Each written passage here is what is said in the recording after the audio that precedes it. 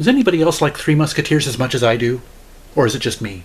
They seem to be an underappreciated candy bar, in my opinion. Don't you think? I mean, they don't have the peanuts like Snickers does, and or they don't have the, the little cookie thing like Twix. You know, it, it's just chocolate covered nougat, but what's wrong with that? Does it need more? I mean, come on. I mean, hey, look at right here. The label says it all. You are awesome. Yes, Three Musketeers, you are awesome. You don't need anything special. You do you. Okay? That's what I'm saying. And if anybody has a problem with you because of that, you just tell them to come see me. Okay? I like you just for what you are, Three Musketeers. But I'm still going to eat you.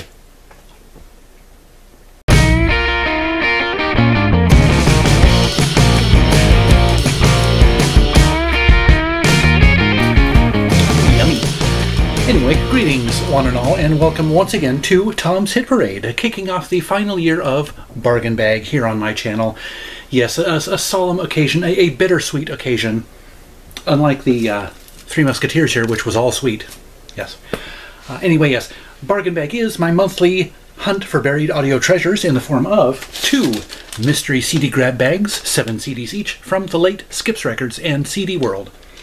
Uh, between the bags, I will be talking about a CD that I have found or that you may be likely to find when you go rummaging in the bargain bin of a thrift store or record store or some other place near you.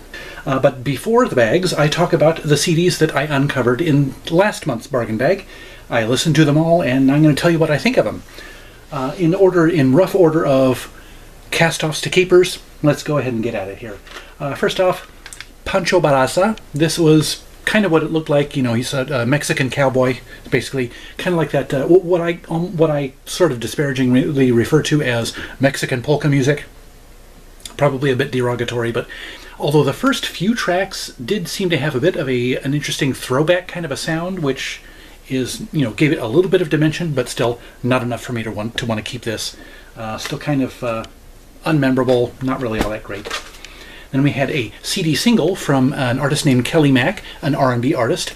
Uh, very decent stuff, but uh, you know, a, a, good voice, but otherwise unremarkable. Just didn't catch my ear, and that that happens with the vast majority of bargain bag CDs. It's uh, in a way, it's kind of why they're in the bargain bag.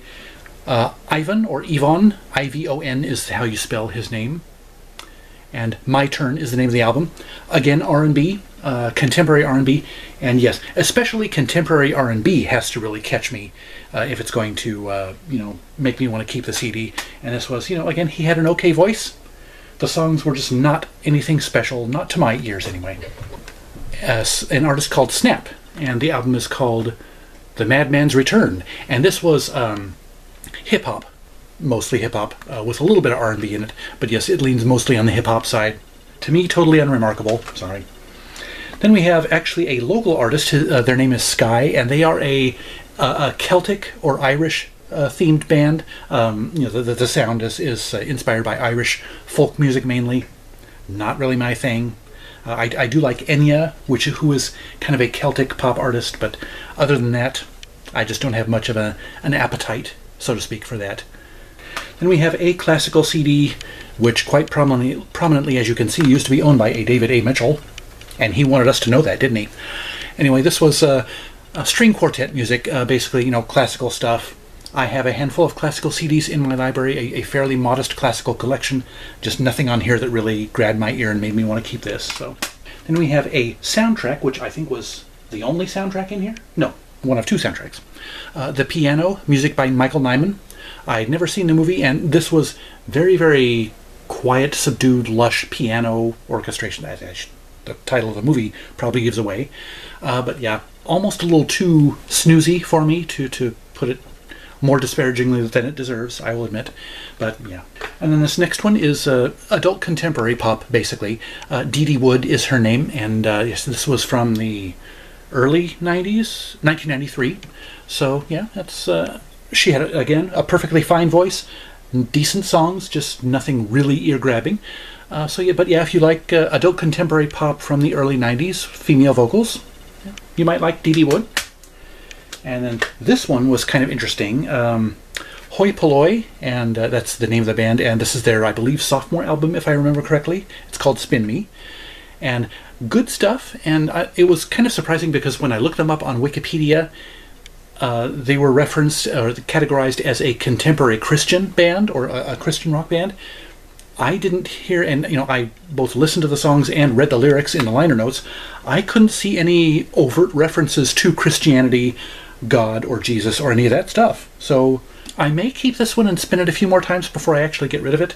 Uh, but because yeah, it's kind of got a new, not quite a new wave sound, but a little bit like that. In earlier days, I would have seen that they were a Christian band and gone, "No, get thee away from me." But uh, but you know now I've I've become. I mean, I've got a couple of uh, CDs that actually have spiritual songs uh, in them, and even though I don't get anything out of the Christian lyrics, uh, some of it's still pretty enjoyable. I have to say.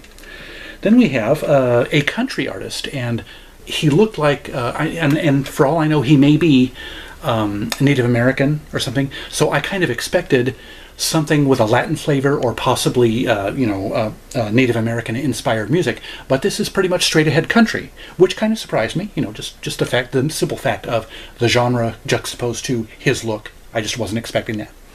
Uh, not bad stuff. Uh, some some of the stuff is actually pretty pretty well written songs, and I'm going to play this one a little bit more. Again, I'm not sure if it's going to be definitely a keeper, but uh, I kind of like this stuff. These next four songs are, are, or CDs are pretty much keepers for me.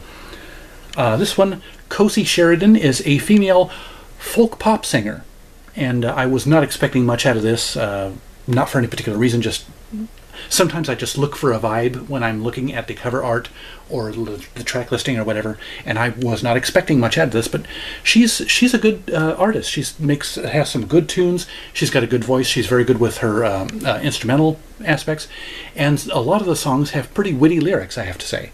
So yeah, some good stuff. Um, would you like to meet the voice inside my head? Is the name of the one one of the songs. So that kind of gives you an idea. She's got a little bit of a, a possibly in some instances self-deprecating sense of humor, which I'm always up for. So uh, yeah, I'm going to play this one a few more times and possibly look at what else she might have. This is like her sixth or seventh album, I think. So she's got a lot of uh, back catalog to look for to look through. So. And this one, I had a feeling I was going to like this one when I saw it, and I was right. This is Crossing Cultures. This is a world music compilation CD, and I really enjoyed this one. Uh, I'm not huge on world music, but uh, you know, just putting this thing on in the background for a little bit of exotic, uh, exotic noises. Uh, this is really, really good stuff. So, uh, and it was put out on the Miramar label, which is a relatively well-known. Um, it's distributed by BMG, so it's kind of a I don't know if it's necessarily a subsidiary of BMG or was, or if it was strictly independent and just distributed by them. But you know, label politics aside, uh, it was it's a label that I had been familiar with before. Is basically what I'm trying to say. To make a long story even longer. And then the uh, one that was familiar that I had actually owned before out of this bunch is a group called the Din Pedals. This is their self-titled album, and uh, this is really good stuff. It's it's alternative rock bordering on industrial rock. You know that that kind of machine type sound uh, that you know in the percussion and stuff is kind of what uh, what uh, distinguishes industrial music. But uh, yeah, good stuff, and uh, maybe not quite as good as I remember it, but I am definitely going to keep this CD again for at least for a little while and play it some more. And the lead vocalist, one thing that kind of turned me off back then was, for one thing, it was a little too industrial, hard rockish for my tastes back then. Uh, my tastes have uh, broadened and developed since then. And also, his voice was a little too idiosyncratic for me back then. And you guys know I like idiosyncratic, unique voices. But uh, I've come to, probably because I remember what he sounded like, I was more receptive to re-listening to this album. I'm sure that's a big part of where this comes from. But yeah, I'm going to listen to this a few more times, and uh, hopefully maybe I will keep it again for a while. So, And then the final keeper here is the second of two soundtracks in this bunch from a movie called Bounce, which I had never seen, and a lot of good stuff on here. Um, Carly Simon has a song that really caught my ear on here, and uh, BT, who is an electronic artist, uh, he he collaborated with NSYNC on their, I believe, their second or second and or third albums. So that's where I knew him from. And then we got Beth Orton, Dido. Of course, Dido sings "Here with Me," her big hit, which I've got on another soundtrack and her studio album already. But still, you know, Sophie B. Hawkins, and uh, uh several other uh, artists of, of, of varying fame levels. But yeah, a good, good collection of, of songs on here. And I don't know, I might have to read up on the movie and see what the movie's all about too. So, yeah, a pretty decent collection of stuff here, I have to say. Yeah, some unexpected uh, good stuff, as there usually is in a bargain bag. And now let's get to my favorite part of this is opening the bags. One thing I'm going to miss about uh, bargain bag, it's like having Christmas time 12 times a year. Opening presents that are wrapped and I don't know what's inside them. So let's take a look at the first, the first bag of 2021. Lest I forget to do it as I did last month, I filmed the video when I was a little too tired. I shouldn't have filmed it. I forgot to give you the customary peekaboo with what's inside the bag. So, okay, let's see what's in here.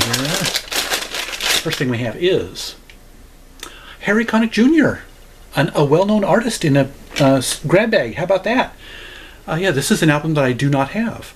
And uh, this has one of his biggest hits, I Could Only Whisper Your Name, which is one of the Harry Connick songs that I've always enjoyed. So, cool. I think I had this one a long time ago, listened to it, and for whatever reason got rid of it, as I am wont to do very uh, unfortunately and, and prematurely, usually. But yeah, I like Harry Connick Jr. I'm not an avid fan. His, his, albums, for me, can be hit and miss.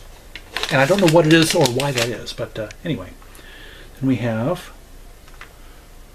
Sugar Shack. I, I had to read it because I couldn't read the, the, cover. I had to read the spine. Uh, Top Loader is the name of the album. This one is, it's an indie release, so I have absolutely no idea what is on that album. So that'll be interesting to listen we have St. James, American Man. They look kind of like an alt rock group, or possibly well 2001. So you had to be uh, definitely way post grunge, but uh, yeah, long haired guys. Oh, Generation Suicide. That's, could have some some dark material on it. Uh, Deaf, Dumb, and Blind is one of the uh, songs on here. So. You always find interesting odds and ends in these bargain bags, you know. We have Kilay, or or is it Kilai? I don't know how the pr authentic pronunciation is. Uh, well, it looks like it might be. It's either Spanish or perhaps Portuguese, and the copyright information is covered up by the sticker down at the bottom right, so I will have to look that up and uh, let you guys know what it is. Uh, we have Danny Wright with an album called Fantasies. No idea what this is about either, so lots of odd, weird stuff in here. Then we have For Guilty Pleasures. And, oh, a classical compilation. And I, have always talked about how uh, some of my music that I listen to is not so guilty pleasures. That'll give me that gives me enough reason to listen to this. A CD called For Guilty Pleasures. And then the final. Well, that was a pathetic little thing. It, it barely cleared my feet down there. We have Endless Summer by Fenez. You can barely read it. Fenez, I think, is how you pronounce the artist name. Assuming that is the artist name. I don't know. Because this is completely unfamiliar. So, yeah, one CD out of that whole batch has looked familiar to me. So, hey, that just that just makes it more of an adventure listening to that stuff, doesn't it? Okay, now turning our attention to the Bargain Bag Spotlight CD for January of 2021. It is Now or Never, the debut solo album by Nick Carter of the Backstreet Boys. Now, I don't think I've necessarily made it any secret on this channel that I have a soft spot for boy bands, this, especially around the turn of the millennium. Uh, Backstreet Boys, NSYNC uh, are my two main uh, favorites. Well, and also a group called Five out of the UK. They were quite possibly they edge out Backstreet Boys and NSYNC for my favorite boy band. But anyway, uh, yes, I was always a fan of Nick Carter even before he sprang out on his uh, own solo career.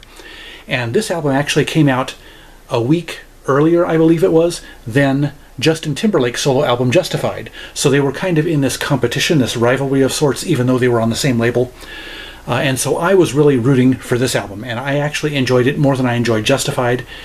Uh, partly because uh, one of my favorite voices from back in the 80s is uh, Bryan Adams, and Nick has a kind of a rasp to his voice, at least he does on this album, that reminds me a lot of Bryan Adams. So, and plus he went in a very much of a rock direction, as opposed to the pop sort of stuff that Justin Timberlake did, and also that Backstreet Boys and NSYNC did. So, in for that reason, amongst a couple others, that's why I liked Nick, and I was always rooting for him. I have always been jealous of Justin for having the more successful solo career. But yes, still, this is a great album. I mean, especially if, as I said, you like that uh, that Bryan Adams-ish rock kind of a sound. Uh, Nick does a pretty darn good throwback to that kind of stuff. "Help Me" was the lead-off single from the album. That's track one here. That's what leads off the album, and it's a, just a great upbeat uh, sing-along chorus kind of song. Really good, high energy. Uh, and that leads into My Confession, which is track two, and that's an, also an upbeat song, not quite as upbeat as Help Me, but still a very nice, energetic. And yeah, this album has a pretty good mix of it's basically two thirds up tempo songs to one third ballads ratio, so it's got a good, decent mix of stuff. Uh, one of the standouts for me is, I guess you'd classify it as a power ballad. It's called I Got You, and it's just great. It, it kind of builds into this. It starts out as much more of a quiet ballad, but it builds into kind of a, a soaring, you know, power ballad sort of thing. Just a great, great song. It's got a great uplift toward the end of it. And uh, Blow Your Mind is another, probably one of the heaviest songs on the album, one of the hardest rocking songs on the album. Uh, Heart Without a Home is another one of the ballads that got a lot of attention, I think. I can't remember if it was actually a single, but that's a standout song, and I think several artists have covered it since then. And that was, yeah, that was, in my opinion, one of the best written songs on this album. But yeah, the good songs don't stop there. Um, is It Saturday Yet is a great, uh, just a great fun kind of a sing along song. Uh, Do I Have to Cry for You is another one of the ballads, and that was pretty good. But and I just want to take you home. That's another good one. I mean, this this album is it's underappreciated, I think. I mean, Justified got all the attention back in 2002 and early 2003 when they was, these were both released. This one kind of got lost in the shadows, but unfairly, I think. Uh, give this one a try. I mean, and and the rest of his discography, Nick kind of pedaled back to the much more pop stuff after this album. I don't know if it was because this one wasn't as successful as Justin's, and so he decided this was the wrong tack for him, or what. But uh, I, am kind of re- regretful of that. I mean, his other albums are good. It's just this one, it was the standout, in my opinion, just because, yeah, he, he kind of diver- diverted from the pop stuff and went into some rock territory, which I thought suited him really, really well. So, very, very good album. If you uh, find it somewhere on the shelves, pick it up, or, or if you can stream it somewhere. I don't know if it's on streaming, but yeah, it's worth a listen. Okay, now let's go ahead and dig on into the second of two mystery CD grab bags for today. Just take a little off the top. Know. That's a joke for all the barbers out there who might be watching. And here we go. Peekaboo IC CDs. And what have we here? We have, oh, Martina McBride. I think this might actually be the second Martina McBride CD I've pulled out of a bargain bag. First one was way back when I started my bargain bag feature, I think. Uh, yeah, I, I, didn't think much of that one. Uh, again, I'm not huge into country, remember, so but yeah, I will definitely listen to this. I can think of a lot worse things to listen to than Martina McBride, let's put it that way. Then we have air guitar, songs for kids. Okay. I, I, don't see myself keeping this, but uh, cute little idea. I don't know if this is a local thing. Oh no, Fairview, North Carolina. So yeah, they're not local. Oh, I think I know who I might be able to send that one to. He works with kids a lot. So anyway, uh, Princeton Bloomsbury, yet another artist that I have never heard of before. This is a four-track EP, so not much to say about that one because I never heard of them before. So then uh, Skip must have had a lot of copies of this. Uh, yes, this one I pulled out just a couple months ago, and it was yet another still sealed in its shrink wrap, as this one is. 10 Years of su Success. It's a uh, classical compilation from the Naxos label. Anybody want a free, still sealed in its shrink wrapped classical compilation CD? Didn't think so. Anyway, we have hmm, North Sound, The Poetry of Nature, The Poetry of Walt Whitman. Yeah, music and nature sounds uh, with uh, Walt Whitman's poetry recited on top of it, I guess. That's probably what that is. we have MCA Master Series Sampler 88. This is a jazz slash new age compilation. I know I've had one of these. I can't remember if it was Sampler 88 Volume 1 or a different volume of a different sampler year. I can't remember, but uh, yeah, one of these appeared in my bargain bag before, so. I probably won't keep that one either. And then, ooh, that was cool. I, I should do that more often than uh, Alphonse Mouzon with Morning Sun with guest artists. Oh, it looks like he is a drummer because, as you can probably see, I would assume that's a picture of uh, Alphonse Mouzon on the drums. So, hmm. Manufactured and distributed worldwide by Optimism Incorporated. I am optimistic to hear what the CD sounds like. So there we go. And well, just like that, Bargain Bag is over for another month. It's just over way too quickly. I have so much fun with this feature. I'm going to be sad to see it go. But anyway, yes, that'll do it for Bargain Bag for the month of January 2021, and I hope you enjoyed this video. If so, hit that like button and share it with your friends. And give me your thoughts, questions, suggestions, or constructive criticisms in the comment section below. Also, scroll down to the description for the links to my Twitter and Instagram feeds, and links to my favorite fellow YouTubers who are all worth checking out. And don't forget to subscribe to my channel and browse my past videos, and be sure to ring that notifications bell so you'll be the first to know each time I drop a new video. Otherwise, thank you so much for watching. I'll see you next time, and remember, life's too short to be a music snob.